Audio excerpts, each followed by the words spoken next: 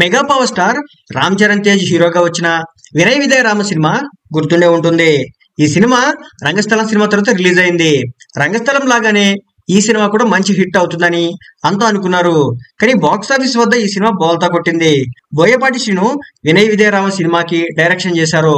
ఈ సినిమా రామ్ చరణ్కి హిట్ని తీసుకురాలేదు. అయితే ఈ సినిమాలో ఒక చిన్న పిల్లోడు నటించాడు. ఆ పిల్లోడి పాత్ర మాత్రం అందరికీ బాగా గుర్తుంటుంది. ఈ సినిమాలో ఈ పిల్లోడికి ఇచ్చిన డైలాగులు కూడా అందరికీ బాగా కనెక్ట్ అయ్యాయి. అన్నయ్యలు చదువుకుంటారు. నేను పని చేస్తాను అని ఈ పిల్లోడు చెప్పిన డైలాగులు చాలా బాగా ఆకట్టుకున్నాయి. అయితే ఈ పిల్లోడు ఎవరు అనే విషయానికి వస్తే ఈ అబ్బాయి పేరు రోషన్ రాయ్. బోయపాటి శ్రీను కజిన్ కొడుకు ఇతను రోషన్ రాయ్కి కెమెరా ముందు నటించాలని ఉండేది. అందుకే సెలవు రోజుల్లో వినయ్ విజయరామ సినిమాలో నటించాడు. ఈ సినిమా ఫ్లాప్ అయినా కూడా రోషన్కి ఆఫర్లు బాగా వచ్చాయి.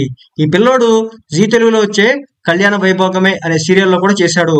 ఈ పిల్లోడు పాత్రకి మంచి రెస్పాన్స్ రావడంలో సీరియల్లోనే కాదు టాలీవుడ్లో కూడా చైల్డ్ ఆర్టిస్ట్గా అవకాశాలు వస్తున్నాయి.